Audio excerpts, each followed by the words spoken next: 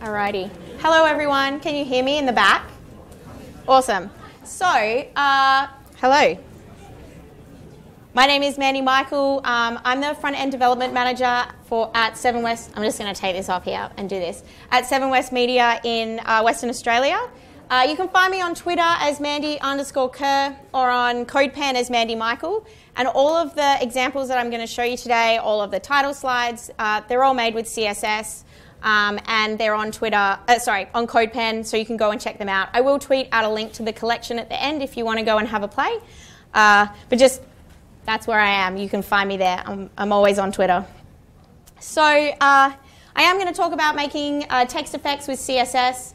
And what I'm hoping that you get out of today is not uh, how to make specific effects, but how you can combine new and existing CSS properties to uh, create interesting um, and more fun text on the web and specifically editable, selectable, and searchable text. I don't use SVGs. Um, I try and limit the use of images, although they, there are some in here. Uh, but it's more about making proper text that is good in the DOM and works like any other website, but in a really nice, fun, and interesting way. So, before I get into actually showing you some examples, there's two things that I wanted to talk about. The first is data attributes. Uh, these are really important in creating text effects. Uh, I don't use them in all of the examples, but um, they will allow me to create layers for some of the more complex text effects that I'm going to show you today.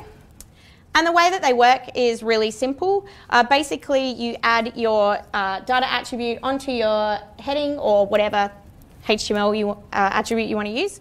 Um, you always prefix with data dash and then you call it whatever you want. Uh, I've gone with heading because that made sense to me.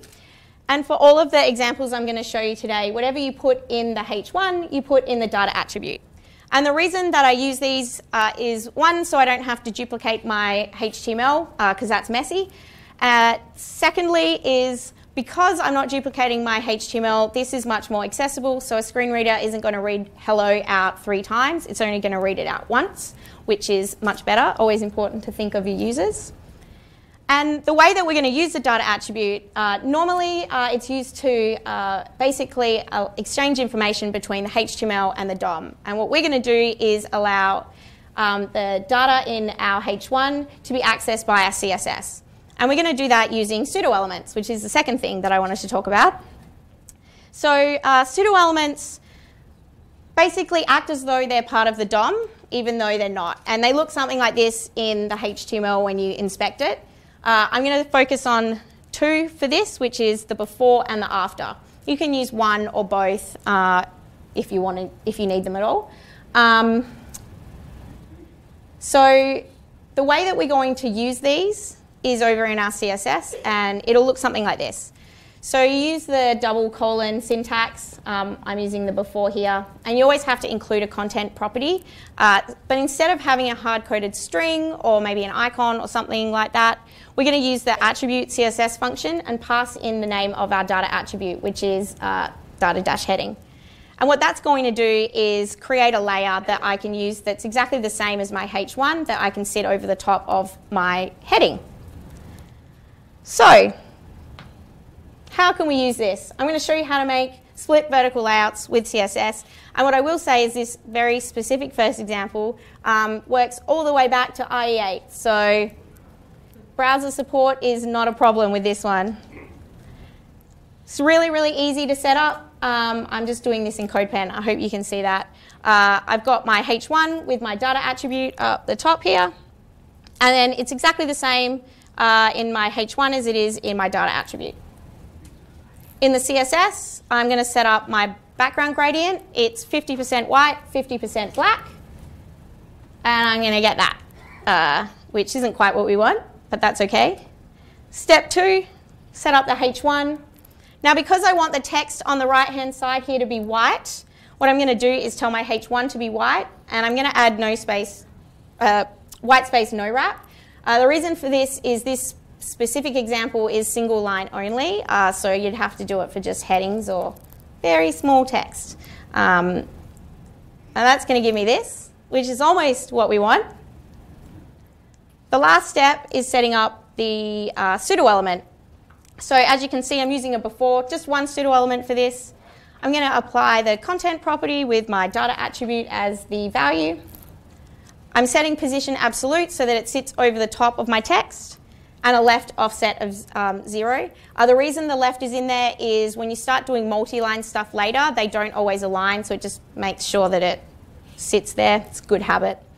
Um, and I'm going to set the color to black because I want my text to be black on that white side, um, which not quite uh, close. Uh, you might be able to see, I don't know if you can on the projector, but there's like this little white outline. That's because the pseudo element is sitting on top of my uh, white H1. So all we need to do is get rid of that half of the black, which we do by setting a width of 50% and an overflow of hidden. Really easy. And then we get this. So as I say, this works in IE8. So no excuses for fun, editable, selectable, searchable text on the web. Um, these layouts were really popular like three years ago. Uh, wish I'd done it then. Um, so just as a quick uh, rundown, I really like diagrams, so I made you one. Uh, the H1 is on the bottom, um, which is in white. The pseudo element sits on top, which is black. It's got a width of 50%, and anything over this side, because I've set overflow hidden, is just removed. So really, really simple and easy to work with. Now you can do all sorts of stuff with this technique. This is basically the same, except I'm using height instead of width, and I'm offsetting it with a transform. Uh, this uh, is kind of an interesting setup. Uh, I've got my H1, which is the black, and then I put a before on top with a height. Uh, the blue is just so you can see it, but actually what I'm doing is setting it to white so it masks the top half of the text. And then I just add another pseudo element and do a height of 50% and an overflow of hidden and offset it to the left. And then I get editable, selectable, searchable fractured text, which this one actually doesn't work in IE8, but it does work in IE9. Uh, so there you go. Um, now, you can do all sorts of stuff. This is just using multiple colours to create rainbow text. I really like this one. I made this one too. It only works with five colours, which is why it's got my name in there. Um, this one was one of the first ones that I made, so I'm particularly attached to it because it kind of looks like the water is going onto the beach. Western Australia has great beaches, by the way, if you ever want to come visit. You can also do something like this. All I'm doing with this is um, rotating and reflecting it with transform, um, but it's just one H1. Or this, if you're a designer, is a Swiss design poster that I tried to recreate, but I didn't have the right font. Uh, so if you do know where I can get that, please let me know because I was kind of sad I couldn't get it looking right.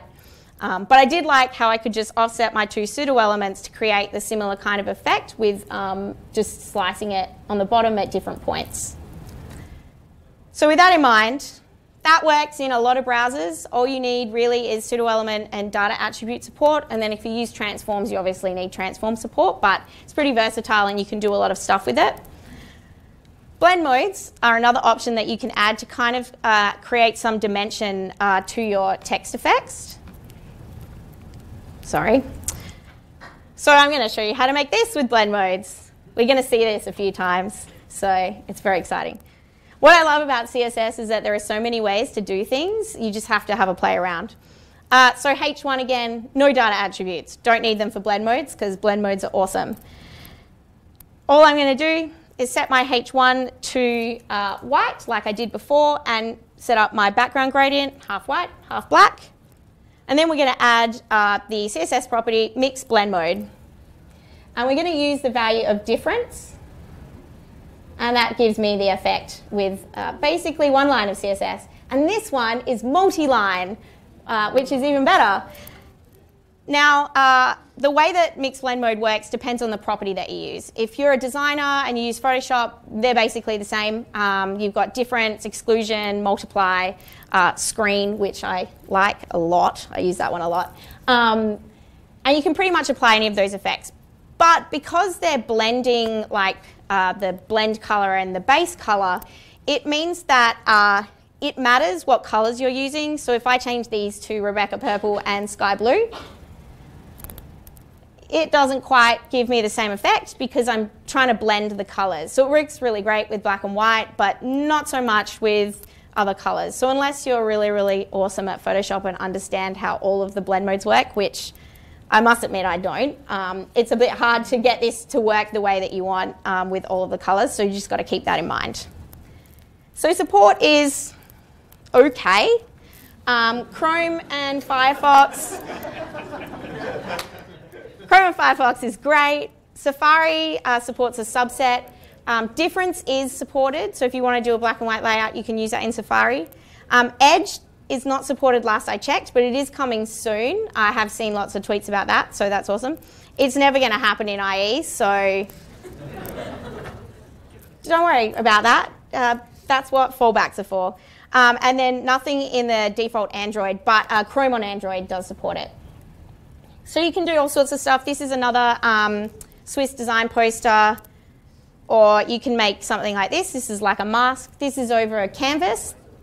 Um, so you can do it with video, images, canvas, uh, whatever you want. You can do this. I love this one. It's like my secret message very original text there, I apologise. Um, or you can make this. Uh, so you can clip a background to uh, the text. Uh, what I love about this is that the text shadow, which is down here, because I'm blending it, gets included in the blend as well. So it kind of like slowly fades out. Uh, I made this just after Christmas holidays to try and remind myself to relax when I was back at work writing JavaScript. Um, yeah, What's great about this, though, is that you can do this another way, and that's what I'm going to show you next. Because blend modes, again, colors kind of matter, um, you can also do it using background clip, which is the next thing I'm going to talk about. Uh, you might be able to see there's an animated gradient going in the background there. That's all just CSS. Back to our trusty vertical split layout. No data attributes needed in the H1 because background clip is also awesome. Exactly the same background gradient as before, 50% white, 50% black. But eh, with a difference, we're not going to change the color of the font because we don't need to. What I am going to do is add a background uh, gradient into my H1. So instead of having it white on the left and black on the right, I'm going to invert them because I want the text on the white to, on the white background to be black and the text on the black background to be white. And then it's really, really easy from here. Uh, as you can see, um, just down the bottom here, I'm adding WebKit background clip to text. And it gets rid of my background. Again, not quite what we want. And the reason that this does this is because it clips it to the text, but the text has a fill color by default. Uh, so we have to get rid of that if we want to be able to see the background that's behind it. And we do that with another property called WebKit text fill color, and we set it to transparent. And voila. And again, this one is cool because it's also multi-line, um, which is really, really nice. Um, and what I love about this one is that it actually doesn't matter what colors you use because you're not blending anything. So you can change it. I, Rebecca Purple is my favorite like named color. Um, and uh, sky blue is just nice. Uh, so yeah, it'll work with basically any color that you want. Um, it's multi-line, so it's pretty versatile. Uh, support's actually pretty good. Um, unfortunately, background clips like fully supported. Um, that's IE11, just to be um, clear. I don't know about IE10. Um, text fill color in IE, though, sadly no, um, and not uh, default Android. Uh, but with the new modern browsers, that effect's pretty well supported, so you can really start using it now, I think. Uh, one thing to note though, you do have to use the WebKit prefix because I think last I checked, all of the browsers had implemented with that unofficial prefix, so that's weird, but okay. So you can make something like this. I leave this up on my monitor at work sometimes because it's quite relaxing. It's like whoosh, um, I'm actually just animating the background, not the text in this, but I thought it looked cool. Um, you can make this. I was really proud of myself with this one. This was actually a Photoshop tutorial, which I remade in CSS. And all it is is a background gradient and some text shadows for highlights along the bottom here. Um, I was so happy when I did this. I did this like three weeks ago. I like high fived myself. It was great. Um, or if you're into Disney's Frozen, which I'm hoping some of you are, you can do this. I made this a week ago and I'm really happy with it. Um, I put my name in it and I screenshotted it and I sent it to all my friends at work because I love Disney. Um, so yeah, this one uses blend modes. I'm using screen. It's got background clip. I've got an animated gradient. I've got text shadows everywhere. There's lots going on, but it's awesome. Now, one thing that I did want to say about this is this text effect is not as cool without the frozen font um, because, you know, it's part of the effect. So that I want to talk about fonts, um, specifically layered fonts. Um, now, layered fonts are specially made fonts which are made to be stacked. Uh, so unlike just a normal font where they've got like bold and italic, these fonts are made with different versions that you can stack on top of each other. And they're really, really, really awesome and really easy to use on the web. Uh, there's heaps of them. Uh, this one is called Strato by an Australian typographer called Sophie Brown. Uh, so let's look at a simpler example because that one had like five layers to it. Uh, but this one's really simple. I'm going to show you how to make this. This was the first one I made. Um, I'm still attached to it as a result. We're going to set up our H1. Uh, now I do need data attributes for this, uh, but again, support for this is excellent all the way back to IE9 if you use two pseudo elements or IE8 if you use just one. So this one works in IE8. We're going to set up our uh, H1. Uh, what's important here is that I do I have set the font family, and this font is called Core Circus, and it has lots of different layers that you can use and different versions of the font. I'm going to set my font weight to normal because I don't want the H1 to inherit the bold from the heading. And then I've just got my color in there, and that gives me boring normal text. Step two is adding the pseudo element. Uh, and much like my example earlier, I've got my content property and my uh, data attribute as the value. I've got it set over the top with position absolute. It's got a left offset of zero. And instead of blending it or clipping it or you know cutting the width off, uh, what I'm going to do is set a different font family. And in this case, I'm using Core Circus 2D.1. Um, there are a bunch of different versions in this font. Uh, and that, with the colour of white, is going to give me perfectly layered dots over my text, which is almost the effect. The next part is the text shadow, uh, which is this. I'm actually going to show you how to do this if you're not familiar with text shadows, so this is going to be fun. Uh, so I'm going to show you how to make this first bit, which is actually a white key line around the text. So let's not do it in code and just have a diagram because I think they're easier. So uh, it's really, really, really easy. And once you understand how text shadows work, um, it opens up lots of opportunities.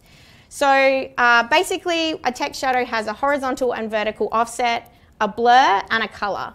Uh, so in this case, I'm going minus 4 pixels horizontally and minus 4 pixels vertically. Um, I'm not going to do a blur for any of these because I want a solid color. And then I'm just going to set the color to black for demo purposes. And you can see here, it's just done this sort of top edge. So then we add another one and we do plus 4 horizontal, minus 4 vertical. And you can kind of see how these are joining up now. Um, and we just do that two more times we do down the bottom with minus 4 and plus 4, which gives me this bottom edge with the green. And then all we have left here is this tiny little bit in the corner. So we just fill that in with another one. And now we've got a perfectly outlined text. Um, and that was that first part. You can see here it's not quite perfect. Um, doesn't really matter that much uh, because if this was one pixels, it's not very noticeable. It looks like this. This is with it in blue. So you kind of can't tell in the corners that it's not quite there, and most of the time people just skip over that. So then there's this bit, which is as easy as the other one. Um, I'll show you how to make the first part. All I'm doing here is making my 3D shadow uh, move off to the right. So I'm going four pixels horizontally and not vertically. Then I do four pixels vertically and not horizontally. Then this one is where I start putting in the uh, sort of 3D aspect where it starts to look like it's coming off the page. Instead of doing four pixels, I'm going to do five pixels horizontally. So you can see it's got like a step and then four pixels down to fill up this little gap here. And you basically just repeat that over and over again until you reach the desired distance from the text that you want. So it's like 1, 0, 0, 1, 2, 1, 1, 2, 3, 2, 2, 3, and so on until you get as far as you want away from the text. I've gone up to like 60 pixels before. It's a really big text shadow, but it's super cool.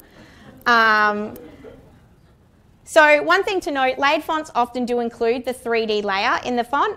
The reason that I use a text shadow is one, don't use a font for something you can recreate in CSS. It's bad for performance because you start loading loads of fonts. She says right before she shows you an example with five fonts in it, but never mind. Um, and also, uh, you only get two pseudo elements to work with, so you don't want to waste your layer on something you can remake with like a line, albeit a long line, of CSS. Uh, so kind of try and use whatever you can in CSS before uh, going back to a font. So this is kind of how it looks. It's I just added this in last week. I'm really happy with it. I did it for all of my examples for layered fonts, so get ready. Um, so yeah, as you can see, we've got the dots, this uh, solid text, which is just our normal H1, and then the text shadow I put on a, a separate layer so you could see kind of how it was set up. So this is Yaki um, by Novotypo. Uh, Novotypo, I just add, are really awesome because they gave me all their licenses for free for my demos because um, it would have cost me a lot of money to buy them all. So they're great. Use their fonts. this is another version of Core Circus, uh, except I'm using a line, and this has like heaps of text shadows in it, um, like all over the shop. I like this one. This one is Festivo Letters. Um, again, lots of text shadows. This one is called Wonder, which is also by Novotypo. They're so great. Not subtle plug. Um, and this one is this one's actually my favorite. This is rig shaded uh, by a typographer called uh, Jamie Clarke, and this is five layers of his font because it's just so beautiful. Um, I love his 3D shadow and you know the sort of dot bits, so wicked. Um, this font is really nice to work with as well uh, because everything's like perfectly aligned. Um, I love this. I actually had to put a span in my H1 with a data attribute to get the extra two layers of this, but it's worth it. Although five font loads later, um, maybe like as a responsible web developer, I don't recommend you do that often. Maybe like subset it to just the letters you need. Um, so Fonts are pretty awesome and they're really amazing. Uh, and because performance is a thing, the other fonts I wanted to talk about are variable fonts because uh, they, they're kind of new and I don't know how many people have read about variable fonts. But basically, they're a special font file that contains multiple versions of a font in the one file. And this is really great for performance because you're only loading one font, not multiple. Uh, but it's also great for us because uh, they're kind of special. Um, in this example, you can see I'm animating between uh, like a thin and a thick version of the font. Um, and that's just one font file there. I'm not doing anything fancy, it's not an SVG. And the way that it works is uh, they have a, an axis uh, and you define like your narrow version here and then like a big thick one over here. And it interpolates between the thin version and the thick version. And that means that we can animate from this point to this point, which is pretty cool. Of course, if you add another axis like uh, width, you've also got a uh, sort of condensed version and a really wide version. And you can keep adding axis points. I think it's like 64,000. Don't quote me on that, but I'm pretty sure I read that. Uh, and there are a bunch of predefined ones like width, weight, and slant. But also, uh, the font creators can make their own versions. So they can just create all these kind of quirky, interesting variable fonts that we can then animate with CSS. So I'm just going to mention support before I show you demos because I don't want you to get excited and then be like really sad. Uh, Chrome, awesome. Safari, great. Firefox, sad. Um, nearly, apparently, I think they're working on it. Edge is really close too, I think, which is great. Um, I think I saw like a tweet yesterday about it. No, that was Firefox. Yeah, tweet yesterday from Firefox. So that's cool. Again, IE is not ever going to happen, so that's okay. We can move on eventually from IE. Um, Edge is pretty good. They're doing a lot of cool stuff. And uh, default Android, sadly, no. Um, but again, that's what fallbacks are for. So this was the first example I made, and I'm not going to linger on it too much because I was really disappointed with it. This is literally all I had like two weeks ago to show for variable fonts. And I was sitting at home with my cup of tea just thinking, ugh, this is so boring. No one's going to be excited about variable fonts with this. So I made this one instead. And I really love this one. So two weeks ago, this did not exist. So there you go. Uh, I'm really, really happy with that. So I'm going to show you how to make it. Uh, really easy. Um, I've got my H1. I forgot to take the content editable bit out. All that does is allow me to edit the text in CodePen, so don't worry about that. Uh, I'm using a data attribute. I don't need it for the variable fonts, just for making the text look like grass. So not needed for variable fonts, but is needed for background clip. So this is what it kind of looks like uh, in the boring version. I just wanted to show font face because it is a normal font. It's called Decovar Regular 24. Um, and we set it up like we normally would with a font family. And then we use this special uh, font variation settings. And every axis in a variable font uh, has a four-digit uh, like code associated with it. Uh, in this case, it's called inline, which is this first one. And this one is called Skeleton Worm, which I thought was a great name. Uh, and we're going to use those to make the grassy bits. And we need both because I kind of hacked the font a little bit to make this work. So uh, first I'll show you what inline looks like. That's inline looks like that, uh, which is kind of cool. Let's get rid of that. And skeleton worm looks like little knobbly squarey bits um, like this. But if you combine them, they look like little pointy leaves, which I found out as I was playing with it. And I was like, yes, I know exactly what I'm going to do with this. So add an animation, um, really simple. It kind of just infinitely looks like it's growing in and out. It's a little bit junky, but it's new. And it's really easy to set up. I'm just uh, going, starting from 0,000 and down to zero for skeleton worm and just in and out constantly. Um, the rest of it is really just all stuff I've shown you before. I added a background image, um, and then I'm just going to put my background clip and text fill color in as well uh, to make it sure that the image clips to the text. Really easy. That's kind of cool. It's not great. So let's just chuck in a heap of text shadows because I love text shadows. Uh, yeah, it's all right. And then I'm going to add in two pseudo elements with more text shadows. And that gives me this, which is cool because it looks like a hedge and it's grass and there's leaves everywhere. And just uh, to make sure you're all aware that it's editable, um, it's just normal searchable text, but it's really cool. Um, you might have noticed that the exclamation mark doesn't have the little growy bits, and that's because the font uh, creator didn't add it on the special characters. So uh, fonts matter in this case. Uh, maybe they'll add it now that they've seen the, the cool example that I made them. Um, so you can do all sorts of stuff. Uh, this one I really like. This is Decovar Regular as well, um, except it's a different variant. And what I love about this is that because um, the font itself is getting rid of parts of the font, in the glyphs, the text shadow disappears with it as well because the text shadow is added onto the text. So when the text disappears, so does the text shadow. Uh, one uh, area of concern with this is in Chrome, there's a bit of a memory leak with the animation. So uh, your computer might explode eventually. Um, so don't leave it open if you go look at the CodePen. Uh, I have been told though that they are working on fixing it. So yay. Soon.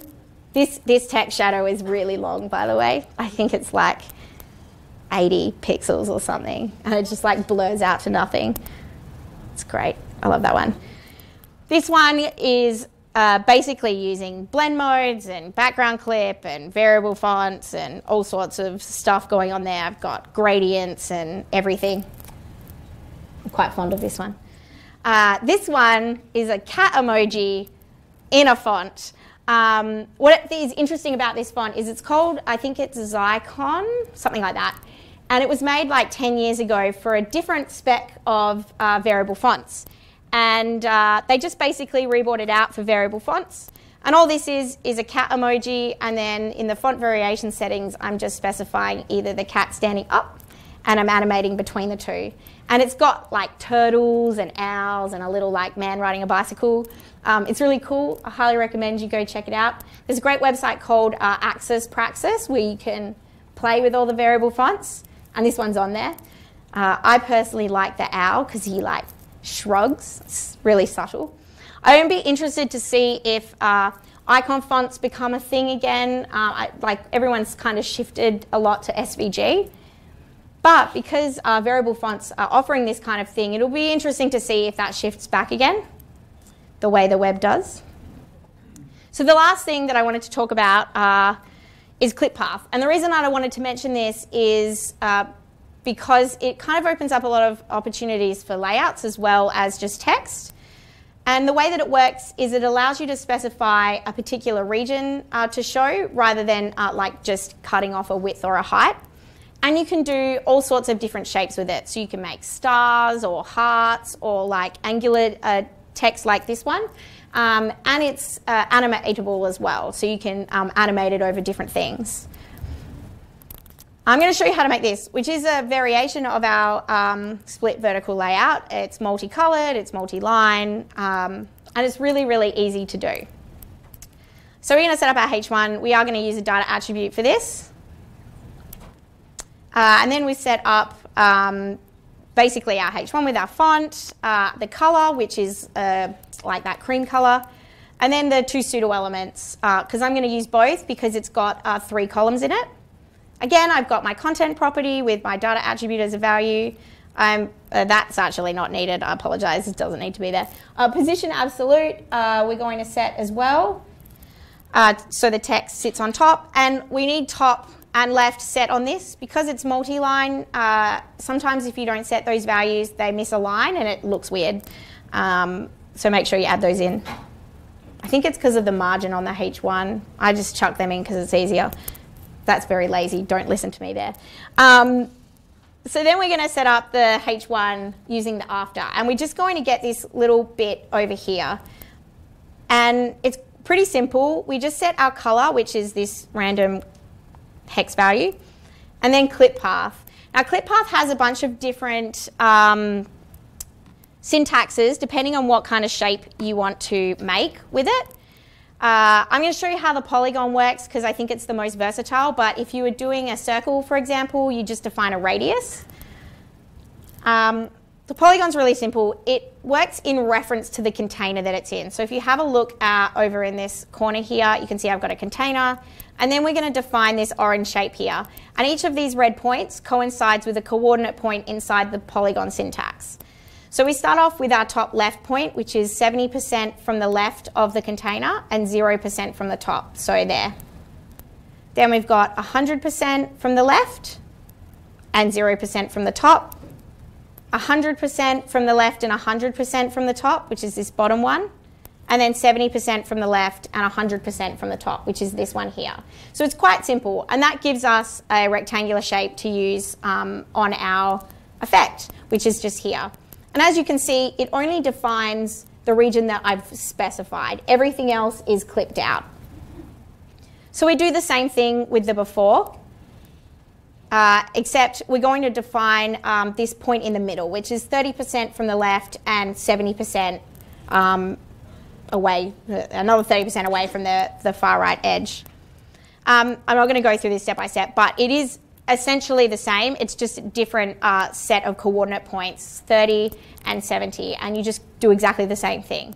So it's quite easy to work with, um, and that gives me this middle region with my sort of greeny colour. And because the H1 is already the color that we want, I don't have to do anything with it. We just leave that bit as is. And that gives you um, the effect, which is multi-line, uh, and you can do all sorts of stuff with it. Now, uh, support for clip path is a bit weird. Um, the yellow means partial support. It basically means that you can't use external SVGs uh, in the clip path, but uh, this effect that I just showed you works fine in Chrome and Safari. Uh, Firefox, awesome. Uh, Edge is coming soon. Uh, again, not going to happen in IE, I apologize. And also uh, default Android browser, no support. Uh, but Chrome does support it on Android. So I wanted to show this because it's really simple. Uh, you can just like lay this stuff and chuck shapes in wherever you want. There's a great website. I always forget the URL. It's like if you Google Clippy and then Clip Path, it'll come up and it's got stars and hearts. And you don't have to work it out yourself. You can just copy and paste. I go there all the time. Um, and that's where I got this from. It's like a cross. Or you can do the fractured text on an angle because you can uh, make like easy diagonal shapes. This is exactly the same setup as the one earlier, but it's got clip path in it instead of a height. Uh, you can make something like this. This is my abstract art. Uh, it uses blend modes as well. Uh, I like this one a lot. For some reason, whenever I put this up back in Perth, people always take a picture of me standing next to it with the word crazy on the slide. I don't, don't know why. Um, uh, you can also do something like this, so you can bend it around a corner. Uh, this is kind of an optical illusion. Uh, I've got a gradient on one side that kind of looks like a corner. Um, and then I'm just like transforming the text and skewing it so it kind of looks like it's bending. I like this, it's cool. Um, you can do something like this. This is using clip path for a gradient on the font, um, oh, sorry, background clip on the font, but the little chevron is the clip path. So as I animate it across the text, it reveals the um, colors below. It's also uh, rig shaded by Jamie Clarke with another version of his like dotty 3D thing. It's cool. Or you can uh, also use it to create magazine-based layouts for the web like this one. Uh, you can do similar stuff like this with that very first example, but it's a lot harder and you're more restricted. Plus, this is better from a responsive perspective because as the text drops onto a new line, the clip path just like works and will cut the new part of the text. Or you can do something like this. Uh, so the way that this works is my clip path is just defined around the dress uh, and anywhere that sits on top of this is white. Uh, what's really interesting about uh, this effect is once I made it and put it up on CodePen, uh, CSS Tricks wrote an article about it and how you could do it another way without clip path using blend modes and uh, filters. So if you're interested in doing something like this, definitely go check it out because they like compare a whole bunch of methods. It's very thorough, much more thorough than I am.